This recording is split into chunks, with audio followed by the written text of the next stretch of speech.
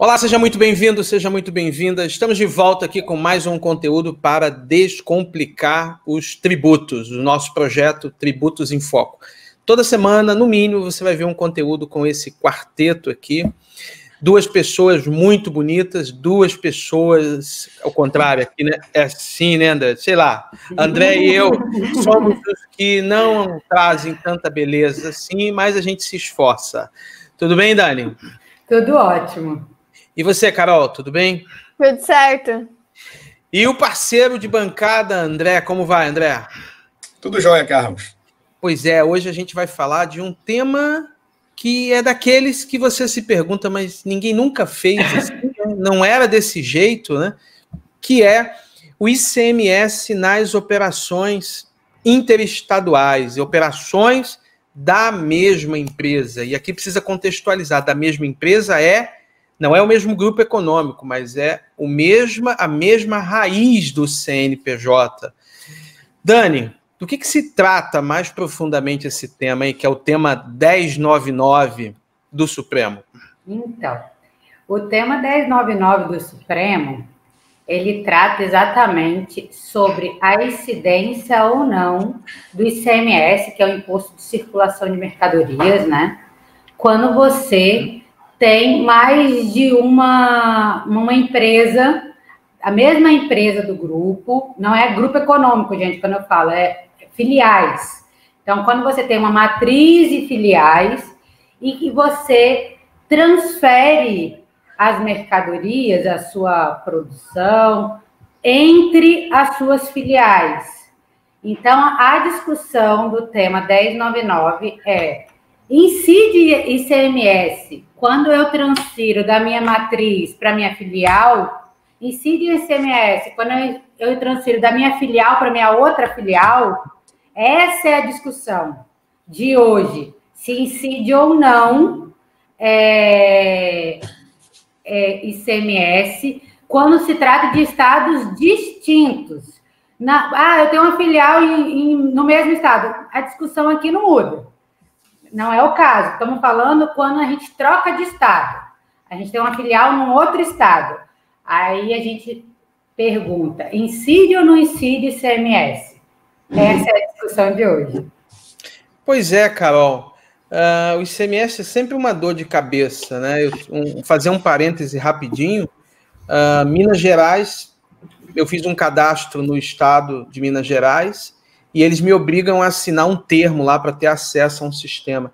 Acredite, esse termo não é uh, digital. Eu tenho que imprimir, assinar, estou com um e-mail aqui da pessoa, assino e envio. Mas ele pede para adiantar o processo que eu digitalize e mande. Ou seja, a gente está falando de Minas Gerais, um estado de é. grande, grande potencial econômico. Mas aí, quando a gente fala de ICMS, a gente está falando de 27 coisas diferentes. Né? Exatamente. Né? E cada estado lida com o ICMS de uma forma, né? Mas então, não existe geral, um padrão. Pois é, mas no geral, o que, que é o ICMS para quem está nos vendo e ouvindo e não é da área tributária? E qual a base de cálculo deste imposto?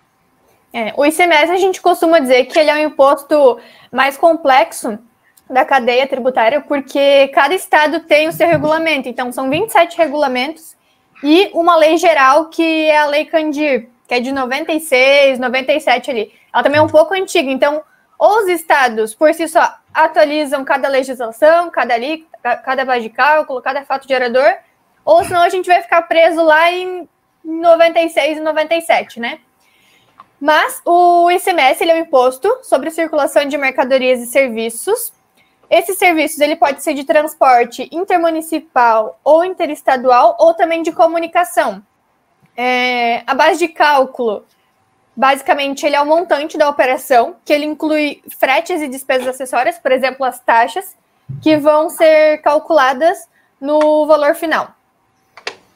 O próprio imposto também é base de cálculo dele mesmo? O próprio imposto é a base de cálculo esse é o escárnio do negócio, né? É o imposto sendo base de cálculo dele mesmo. E aí você pega 25% de ICMS, quando dá ele por ele mesmo, vai para 32%. Isso, já foi confirmado na Constituição e pelos. E aquele cálculo por dentro, né? Por Super dentro. complicado. Tem uma emenda constitucional, se não me engano, emenda 33, que legitima esse tipo de coisa, ou seja, a loucura tributária vai longe. É, e, Carol, como é que funciona essa operação interestadual de ICMS? Então, para, vamos dizer, facilitar a nossa vida, existe uma tabela de incidência, que é a primeira coluna é a origem e a linha é o destino. Quando tu vai fazer uma operação interestadual, tu sempre vai cruzar o estado que ele está saindo para o estado onde ele vai. Cada estado vai ter uma alíquota diferente. Pode ser 7, pode ser 4, pode ser 12, pode ser 18. E ali, nesse cruzamento, tu vai descobrir qual que é a alíquota do, do imposto dessa operação. Pois é, mas essa história do, do 4, ela é recente, que é da resolução do Senado de 2012, 2013. Antes era 12,7, a Isso. brincadeira, né? 12, é, eu, eu sempre usei isso, né? Rico para rico, 12, rico para pobre, 7, pobre para pobre, 12, pobre para rico, 7. Parece Meu confuso, não. Mas é, quem são os estados ricos? Você que está nos vendo e É. ouvindo não conhece isso. Sul e Sudeste, exceto o Espírito Santo. O Espírito Santo é o pobre. Nordeste, prefeito fiscal. É, todo o restante, Norte, Nordeste, Centro-Oeste, mais o Espírito Santo, é pobre. É, Era complexo, mas já tava, é, já era simples de você conseguir isso. Aí veio a resolução do Senado e falou: pera, se o produto for importado, a gente vai criar mais uma confusão nessa história Exatamente. que é 4. Mas espera, a gente vai confundir mais isso ainda. Tem uma lista de exceção de produtos que, sendo importado, não é 4, é 12 ou 7. Aí é chamada lista Camex. Mas quem é Camex? Isso. Pois é. E Essa- também nesse bolo entra a Zona Franca de Manaus, que ali que é diferente, que ou tem isenção ou é a zero. Então, assim, tem bastante peculiaridades, né? Mesmo essa, essa lista de incidência sendo atualizada anualmente, sempre vai ter umas considerações a mais, sempre vai ter um porém, sempre vai ter um Uma depende. exceção, né? Exatamente. Pois é, mas a, a- a- eu não, é difícil. A gente está discutindo aqui, é igual o, o meu trabalho no dia a dia, que é o despachante aduaneiro. A gente vive da burocracia. Não estou feliz com isso. Não quero ficar feliz com isso. Por quê? Porque o dinamismo do negócio não aumenta. A gente devia estar discutindo assim, Sim. cara, compra o melhor produto, o produto mais inovador, faz o melhor marketing que você puder e venda para o melhor número de pessoas. Mas no meio do caminho aí, tem uma série de coisas, dentre elas você saber qual é a alíquota existente para cada tipo de produto. E a André, gente também não pode deixar que isso vire costume, né? Que isso seja normal pra gente, né? pois é. Não, e e tem um ponto interessante, Carlos, que aí no caso, se fosse só saber a alíquota, era fácil, né? Porque 7, 12, 4. Quatro, Sim. Porque esse 4 veio para acabar aquela confusão dos incentivos fiscais, né? que, no- que aqui depois a gente viu que não era nada disso. Tinha Só até reduziu o potencial deles, mas continuou. Foi até o Joaquim Barbosa lá atrás que disse isso, que o que importa é a circulação jurídica da mercadoria. Então ele botou 4%, decidiu esse ponto, aí veio o Senado que mudou e botou 4% para importação como um todo. E aí a Camex, como a questão do comércio exterior tem a função de regulatória também, então ele coloca alguns itens que ele tem interesse que a alíquota seja maior para desestimular a importação. Aí são esses itens Sim. que vêm a 12%. Pois é, mas assim, o histórico da discussão é essa. Desse caso específico nosso, não. Vamos voltar aqui, vamos voltar para o nosso caso, né? Que é a questão Vamos voltar para casa.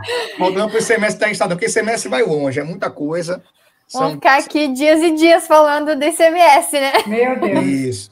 O semestre vem desde o antigo ICM, né, que é o Imposto sobre Consumo, lá da ditadura. A gente vem fazendo histórico desses, desses impostos. E nesse caso é o seguinte, esse caso específico foi uma discussão de um fazendeiro em que ele queria transportar o gado dele de uma fazenda do Mato Grosso para São Paulo. E aí, eh, os estados, se você observar o seguinte, as transferências dentro do estado elas, desde o começo, elas são desoneradas, não tem tributação, já vem esse entendimento sendo firmado. Só que as transferências interestaduais, por questão do imposto ser estadual, o ICMS, tem-se a cobrança de ICMS. Então, é que tem as alíquotas interestaduais. E aí o seguinte, por exemplo, eu tenho minha mercadoria em São Paulo. Eu vou vender, eu vou transferir para uma filial, unidade minha na Bahia, e vou vendê-la na Bahia. São Paulo produziu, em tese, e a Bahia vai vender. Na Bahia eu vou recolher o ICMS dela a 17%, 18%. E São Paulo foi o seguinte: opa, eu quero meu pedaço.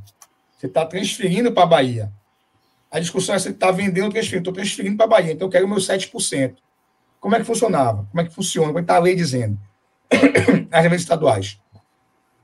Quando você faz transferência interestadual, o efeito é o mesmo de você estar tá vendendo interestadual. Essa, essa é a tese do governo paulista. É do, de todos os governos do Estado, dos okay. estados, eles cobrem o ICMS com essa base. Porque, porque é o seguinte, é uma forma dele assegurar o ICMS dele da origem. Então, por isso ele cobra e ele equipara uma transferência interestadual a uma circulação de mercadoria. Então, nesse caso, um fazendeiro se insurgiu e falou: Poxa, eu estou levando meu gado para engordar na minha fazenda no estado do lado. Eu vou ter que pagar esse mês de transferência de uma fazenda para outra. Às vezes, e às vezes é interessante que até a mesma fazenda. Nesse caso, eram duas fazendas. Mas tem vezes que a fazenda pega vários estados. Sim. E aí o gado dá uma passadinha para lá, para cá, mudou de estado, e o estado queria o ICMS. Nessa confusão, como foi dito, com base nesse entendimento do 4%, a origem vem nessa fundamentação de que para o ICMS a circulação de mercadoria é a circulação jurídica, não é a física. Então, circulação jurídica, como o Carol falou, é o quê? Mudança de propriedade, mudança de titularidade. Enquanto não mudar o dono, não houve circulação de mercadoria. Exatamente. O que o Supremo disse? Se minha mercadoria ficar passeando no Brasil todo, de estado para estado, pelo mesmo titular. Não é uma houve... mercância, né? Não Exatamente. Não houve venda, não houve circulação de mercadoria. Então, esse que é o centro da discussão. Que você chega o seguinte: houve circulação ou não. E nesse caso, o criador de gado falou: pô, meus bois saíram do Mato Grosso para São Paulo, mas continuam sendo meu. A empresa é a mesma, a titularidade é a mesma. Então não há que se falar em fato gerador de CMS. E essa briga estava lá na repercussão geral desde 2013, se eu não me engano. 13? 13. O boi já, ficou, já, já virou churrasco. Muito tempo.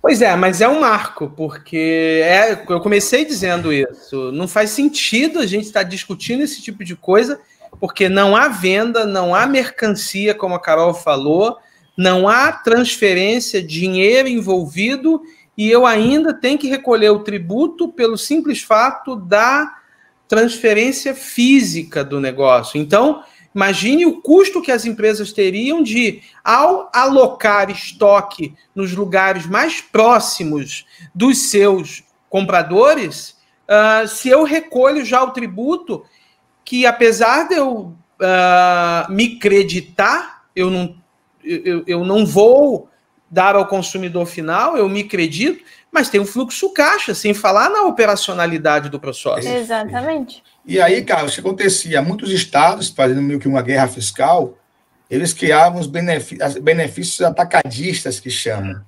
O que eles faziam? Quase todos os estados têm esse benefício. Você abre uma filial sua aqui no meu estado, e aí eu te dou um benefício para que você só recolha imposto na saída. Uma guerra fiscal, né, André? Aí você começou, as empresas têm que abrir filiais em todo o Brasil, todo o Brasil e ficar impedindo esse benefício. Para poder vender. o poder é o burocrata, né? Alguém na Secretaria de Fazenda, na Secretaria de Desenvolvimento, tem o poder de assinar e dizer quem vive, quem, quem sobrevive e quem morre. Geralmente é. eles pedem pelo menos seis meses de operação o Estado poder dar o benefício. Não, pois e é. tu imagina, né? É, até a operação é tão mais complexa, porque no exemplo do gado, eu vou transferir o gado, vou circular o gado, só que ele não tem valor, porque ele ainda é meu, eu não estou vendendo. Então, qual que vai ser a base de cálculo? Qual que vai ser a alíquota? Então, tipo, ela é muito mais complicada. Qual o fato gerador? Não, Exatamente. Qual o fato gerador que é o principal? Não tem fato gerador, não, não tem mercancia. Imagina o departamento fiscal da empresa emite uma nota nesse é, da entrada e a Sim. mesma empresa, e a contabilidade é sempre feita pela matriz, não é isso? Falando a contabilidade vai, vai dizer, tá, não entendi. É, que é a saída aqui, que é a entrada colar. Não faz sentido esse tipo de coisa. Mas a gente está falando do gado aqui, porque o gado foi uh, o, o gatilho para fazer o tema chegar lá, mas isso já foi dado repercussão geral, porque isso interessa a todo mundo que está nos vendo e ouvindo. Ou seja, claro. Hoje a situação é, que é o que a gente vai falar aqui, eu não vou, quer dizer, não posso dar spoiler no negócio, a gente ainda vai chegar lá ainda. Aí eu quero trabalhar o seguinte, Carol. Qual era o posicionamento do STJ? Então, o STJ ele já era favorável que não existe o fato gerador, não existe a circulação ali, tanto que existe uma súmula, a súmula 166, que ela fala que não constitui fato gerador o simples deslocamento de uma mercadoria para outro estabelecimento, desde que ela seja do mesmo titular. Então, o STJ já era pró-contribuinte, né? E ainda duas curiosidades que é comum aqui no estado de Santa Catarina é que o ramo de construção civil ele existe a matriz ou a filial e existe o canteiro de obras. Então, quando tu circula a mercadorias da matriz filial para o canteiro de obras, eles estavam é, recolhendo tributo, mas indevidamente, porque o canteiro de obra também é do mesmo titular. É, Santa Catarina, que já se posicionou em 2019 e 2018 favorável também à Secretaria de Fazenda aqui. E, justamente para o ramo da construção civil, existe uma súmula também da STJ, súmula 432, que não constitui, que não existe é. o fato gerador. É importante, Carlos, também, essa questão do construção civil, porque esse canteiro de obras, por conta do INSS, acaba tendo que ser gerado um às vezes é um SEI, às vezes é, é. um novo CNPJ, mas não é um CNPJ é, autônomo, ele é sempre ligado à, à matriz, à filial.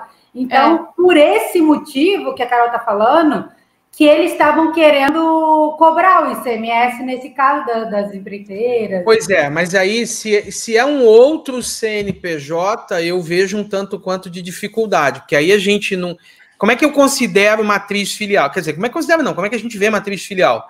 Uh, são os primeiros dígitos antes da barra ali, que é para todo mundo. A filial muda só depois da barra. É então, 002, né? 002. Eu olhando, sem ser operador do direito, eu olhando, eu vejo. É 003? Beleza, não há o que discutir. É outro CNPJ? Ah, mas está no mesmo grupo econômico. Eu não sei o que foi decidido. Não, não, não estamos falando de grupo econômico. Ok, não é então é isso que eu queria chamar a atenção. Você tem 20 empresas. Você está transacionando entre as empresas. Não é isso que a gente está falando aqui. A gente está é falando de uma empresa e 19 filiais. Isso. Ou filiais. Isso é que foi decidido. Por quê? Porque não há, não há uh, mercancia, foi a palavra usada pela Carol, ou seja, não há transação econômica nessa situação. Perfeito. André, a aplicação do tema só se dá pelo. Acabei de responder um pedaço aqui já, né? Só se dá pelo estabelecimento do, do mesmo titular. Uh, por que, que o grupo econômico não pode entrar nesse, nessa mesma decisão, André? É, vamos lá. No caso específico de CMS, ICMS é muito específico, um monte de coisas, né? Um monte. Estamos falando de CNPJ. Então, a base que você leva para poder dizer se é filial, se é matriz tal, é CNPJ é raiz. Quando a gente fala de CMS, é uma peculiaridade. Se você tiver 200 filiais no mesmo estado, para a legislação do ICMS, são 200 estabelecimentos distintos. Verdade. E com inscrições estaduais distintas. Era isso que eu ia falar, né? As inscrições, o controle da, da, da Secretaria de Fazendas é pela inscrição estadual, né? Então, aí vem um, uma, uma questão bem interessante, e é um argumento muito forte para os estados, né? Que vão dizer, cara, a ICMS, cada estabelecimento tem sua apuração, tem seu recolhimento, tem sua tributação. E você pode optar ou não pelo CNPJ para pedir para fazer uma apuração centralizada naquele estado. É, e daí do questão da mesma, da mesma titularidade. Por que a mesma titularidade? Né? Justamente isso, porque se é a mesma titularidade, você não envolve circulação de mercadoria. Você não mudou o dom da, da, da mercadoria. Esse que foi o que pegou. Circulação jurídica, né? Jurídica, que, é o que, a gente, que, é, foi tá definido lá atrás, exatamente, é. com o Joaquim Barbosa, ICMS fala de circulação jurídica, esquece circulação física. Não existe mais isso. Para acabar com a discussão de, ah, desceu em qual porto, qual estado que está a mercadoria, não importa. O que importa é a circulação jurídica. Quem é o dono, mudou o dono, circulou. Não mudou, não circulou. Vai ter uma música que chama de circulou, né? Tá na, tá na, hora de mudar o nome, tá na hora de mudar o nome do tributo, né? Porque circulação de mercadoria é diretamente ligado a físico, né? De um é mais fácil a venda, né? Imposto venda, venda, imposto sobre venda, né? É, mas o pessoal no Brasil tem um trauma de falar venda, vendedor, né? O pessoal não entende qual é. caso. É, então, assim, tem esse ponto da circulação jurídica específica. Mas um ponto de atenção muito forte para a questão estadual é essa. Os estados alegam, continuam alegando, que cada estabelecimento é um estabelecimento independente para fim de apuração de CMS. E quando se fala de um estado para o outro, pior mais ainda. A questão dos controles de apurações né, de um estado para o outro. Então você mas, o Supremo, mas o Supremo já bateu o martelo, então, né? Essa bateu é a pergunta um milhão de dólares. É, e aí, a decisão qual foi, né? Mas esse é o ponto. Você bate o martelo lá em cima, em nível geral, você trabalha na lei Candir, na lei do CMS, Código Complementar 8796, você trabalha com a lei Candir, você trabalha com, com emenda, e aí quando você desce para a questão do mundo dos regulamentos de mais de mil artigos, como você operacionaliza isso? Tem muitas questões tributárias que é assim, que quem aplica a lei, quem julga, não tem a menor noção de como que a lei é aplicada lá embaixo como operacionalizar isso. Então, temos muitas decisões que, quando você vai para operacionalizar, é complicado. Eu estou pensando o seguinte: o imposto, nós temos que decidir alguns pontos. ICMS, o imposto é da origem ou do destino? que está se discutindo, está se caminhando para o destino, né? Está se caminhando ano a ano, está reduzindo a margem para o destino. É, mas então vai tudo para São Paulo, né? Acabou, né? São Paulo só e acabou. Na, na, verdade, é contrário. São Paulo briga muito, porque São Paulo é o que mais produz, né? Exporta muito. Ah, tem razão, é, é o que mais Destino é o Nordeste. Destino você favorece muito o Nordeste. E aí vem esse ponto. Se o ICMS for da origem e do destino, ou uma parte origem, uma parte destino, se eu transfiro minha mercadoria para outro estado, não, não tributei, não cedi o ICMS e eu faço a venda de lá desse estado novo para minha mercadoria, onde foi produzido inicialmente, ficou com quanto e com o quê? Pois é. Hoje, uh, se não for produto importado, 12, né? 12 se for importado, 4, né? Cada é, estado é de um jeito, né? Pois 4, é. 12 ou 7, né? 4, 12 ou 7, é isso aí. E se for beneficiário do Compete, fica com 1. 1,28. É, o Rio de Janeiro também está fazendo igualzinho. Pois é. É, todo mundo está é, fazendo. Assim, vamos operacionalizar, já que você falou que quem aplica a lei não faz a menor ideia de como é que a coisa funciona. Uhum. Deixa eu é, é, enfiar uma pimenta nesse. Minha pimenta para ti é fácil, né? Deixa eu enfiar a cebola, né? eu sei que você gosta de pimenta, então pimenta Opa. e farinha não, não adianta. Vou botar cebola, cebola, que muita gente não gosta. Eu estou em Santa Catarina e uma empresa em Santa Catarina vai fazer uma importação por uma trade em Santa Catarina. Essa empresa que está em Santa Catarina, na verdade, ela é matriz de uma empresa de São Paulo mas ela abriu uma filial em Santa Catarina para fazer uma operação por conta e ordem. Então eu tenho uma trading em Santa Catarina e uma, uma adquirente em Santa Catarina, duas empresas catarinenses. A trade e é uma operação por conta e ordem. A trade ao importar não tem ICMS na entrada, difere para saída. Quando ela transfere dela trading para o adquirente, virou uma saída. Tudo bem, não chamamos de venda, chamamos de outras remessas, mas é uma saída. Nesta operação interna, tem CMS, ou 4 ou 12, dependendo de mais uma coisa que a gente não falou aqui, que é a lista Camex. Isso a gente aí. Vai, vai ter que falar disso em algum outro momento, lista Camex. Aí a trading vendendo, entregando para a empresa adquirente uh, com 4 ou com 12. Esse, o recebedor deste ICMS é o Estado de Santa Catarina. Beleza. Perfeito. Aí a, a, adquirente recebeu, é uma operação já em produtos importados, e agora ela vai mandar para Santa, para São Paulo. Aí já é uma transferência de filial para matriz. Perfeito. Tem CMS? Esse é o ponto. Com o entendimento do Supremo hoje, não. Não tem CMS. Exatamente. A diferença seria essa agora. Mas e o crédito que ela tomou lá? Que ela pagou? Provavelmente. Esse que é, o, esse que é a questão da personalização. Pelo desenho que está hoje, a gente vai ter que ver as modificações nas legislações estaduais que vão ter, mas provavelmente já vai acumular esse crédito. Né? Você que está nos vendo e ouvindo, está vendo a loucura aqui. A gente que está nisso todo dia não tem resposta para o negócio. Porque vocês têm que perceber uma coisa, Carlos. O ICMS é estadual. Pois é. Você não usa crédito de um estado para o outro. Só na exportação, né? E essa é a confusão, né? Exatamente. eu tomo crédito... em Minas e o Espírito Santo, quando eu vou exportar aqui, ele é obrigado a me dar. É, aí a questão da lei tem que estar estadual. Aí eu aproveito aquele pedaço, né? Acumulo.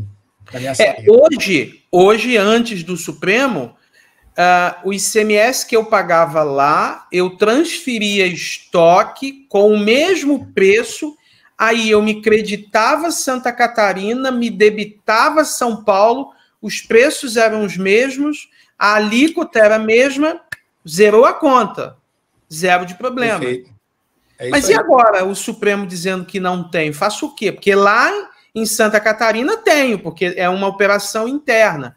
Vai ter ICMS. E quando transferir isso para São Paulo? Crédito morto. Sei lá, talvez a gente venha a gente volte aí, a falar disso aqui agora, em outro momento. E aí vem o ponto, né? Porque quem está do outro estado recebendo tem interesse pelo crédito também, né?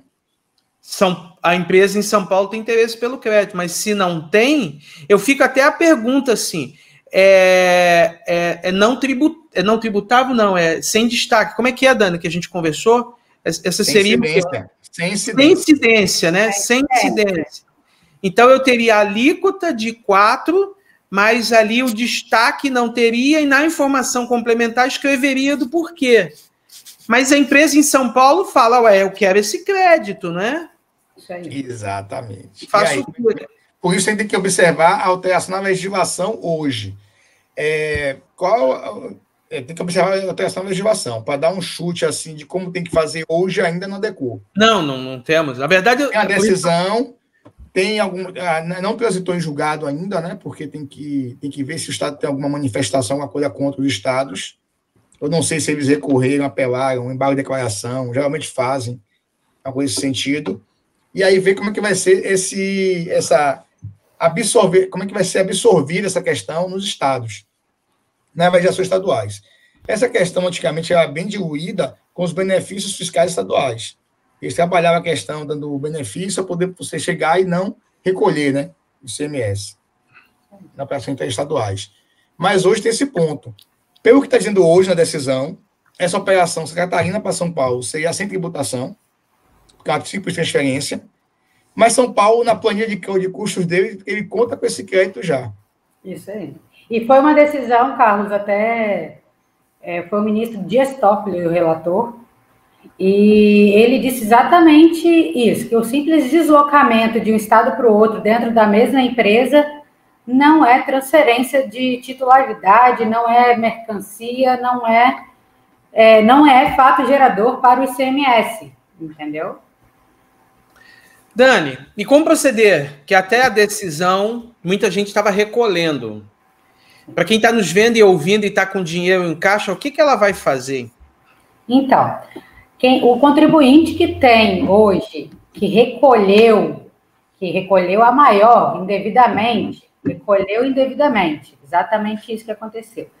É, o que, que ele tem que fazer? Ele tem que fazer um pedido é, de restituição junto ao Estado. Esse pedido tem 90 dias para ser julgado. Teoricamente, essa é a teoria, né, linda? Exatamente, muito bem lembrado. É uma teoria linda. Bateu esses 90 dias, não fui restituído, vamos de MS, mandado de segurança. Vamos bater, bater no Estado. Bater no Estado é brigar com o Estado de IMS. Vamos discutir. É, não conseguiu administrativamente, Vamos para o judicial, vamos judicializar isso aí. Vamos buscar esse crédito, porque existe esse crédito. Ele é passível de conseguir esse crédito. Então, assim, agora com essa decisão que nós temos, que foi é, recolhido indevidamente, você transferiu de um estado para o outro, dentro da sua mesma empresa, que é o mesmo, estamos falando de uma filial, e foi recolhido indevidamente, você tem direito a esse essa restituição. Então, podemos fazer através do pedido. Ah, eu não quero fazer pedido administrativo, porque nunca, nunca tem resposta. Você também tem a decisão gerencial de fazer judicialmente. Você pode fazer judicialmente. Você pode fazer administrativo, você pode fazer judicialmente. Então, assim, é, é toda. Você, a gente vai analisar tudo o que foi recolhido indevidamente, vai fazer esse levantamento, vai fazer os cálculos e vai pedir essa restituição, seja ela administrativa, seja ela judicial. É é, com a decisão que no PEC na mesa, né? É, com o PEC tá a decisão, a gente já consegue fazer o administrativo. Mas muitas empresas, elas ainda se, se, sentem inseguras em fazer o administrativo e pedem a via judicial. Mas é a mesma é situação. O que, né? acontece, Carlos, no caso lá na, na rede, e aí orientação para clientes, como está a orientação para ser feito, né? São duas, duas situações. Situação um, é, não é só que porque eu recolhi que eu vou restituir, porque tem a questão do efeito econômico, né? Se você recolheu e você depois aproveitou esse crédito de alguma forma, tem que ter cuidado para não fazer um pedido indevido. E o ponto dois que é interessante para a gente fazer, eu acho que é bem legal para quem está ouvindo aí, o primeiro passo, o passo ideal é esse, é que a gente começar a focar muito nas operações. Então, esse é o momento ideal, quando se fala que está mexendo em ICMS, em pensar em planejamentos tributários envolvendo operações e estruturas. Qual a ideia hoje? É começar a pegar a estrutura, a operação do cliente, e a gente observar o que faz sentido. Quais são as filiais que fazem sentido, qual a motivação, que antigamente ele tinha a filial só para transferir crédito. Hoje, talvez não faça mais sentido. Seria melhor ir consolidar no estado e fazer venda direta. A depender da operação onde ele esteja. E isso só descobre como? Quando você faz um estudo, você faz um planejamento tributário para poder ver todos os resultados que tem. E ficando alerta. Não é só porque eu paguei o ICMS de transferência interestadual que eu vou ter ressarcimento integral de todo o valor que eu paguei. Você tem que ver se você não teve nenhum aproveitamento econômico daquilo, para depois não tomar na cabeça no final. Tipo, ah, eu paguei, mas eu aproveitei. E quero devolução de novo. Aí não funciona. Por isso que é importante fazer todo o levantamento da operação, que o André falou, e planilha. A gente é, faz essa, esse levantamento, essa planilha, esses cálculos e otimiza esses valores. A gente pega o que realmente ele tem direito, qual foi a operação completa dele, e aí a gente consegue ver o que realmente é instituível. Exatamente. Pois é. Vocês já disseram quase tudo que eu ia dizer. Esse é o papel da rede. Esse é isso que a gente faz, ajuda você, empresário, aqui. Tem dinheiro na mesa? Dinheiro está em cima da mesa? Não deixa. Não fique achando que isso é um problema. O fisco está lá e não vai olhar por você. Quem tem que olhar por você é você. O dinheiro Agora, não vai voltar sozinho, né? Não vai voltar sozinho. Agora, você tem dúvida se o que ficou, que a gente disse aqui até aqui agora, faz sentido e você quer conhecer mais, em algum canto dessa tela tem um ícone para você conversar lá com o pessoal da rede, com a André, com a Caroline, com a Dani, com o Igor. Clica faz um contato, escreve para eles que eles vão responder isso rapidamente. Mas uma coisa é fato: você pode ter recolhido dinheiro a maior indevidamente. E quando a gente está falando de ICMS, essa quantia não é troco. É, tem muito dinheiro envolvido nesse negócio. Então, precisou falar com o pessoal da rede, em algum canto dessa tela tem um ícone para você. Clica, coloca seus dados, que alguém vai entrar em contato com você. Caroline, muito obrigado pela gentileza desse bate-papo, tá? De nada. Até Dani, mais. como sempre, muito engrandecedor esse nosso bate-papo, hein? Obrigado. Obrigado você, Carlos. André, meu parceiro, Eu estava lembrando aqui, a gente fazia vídeo um ao lado do outro, né? Só dois, né? Éramos egoístas na história, né? Aí colocamos três e hoje, se um deles faltar, não tem gravação, né? Só o ou nada. é isso aí. Ou quatro ou nada. Muito obrigado, André, por esse bate-papo, tá? Tá bom, Carlos. Um abraço. Até a próxima. E você que ficou aqui até agora, muito obrigado. Se ainda não é inscrito no canal, em algum canto dessa tela tem um ícone para se inscrever. Se está ouvindo isso pelo podcast, fica aqui o convite. Se inscreva nesse podcast, porque toda semana tem conteúdo novo. Muito obrigado por levar a gente para academia, para a praia, no carro, passeando com o cachorro. A gente tem sempre conteúdo toda semana para você. E ó, fica ligado que semana que vem tem um tema massa para a gente ouvir. Um abraço. Tchau, Dani. Tchau, Carol. Tchau, André. E tchau para você que ficou aqui até agora. Até mais.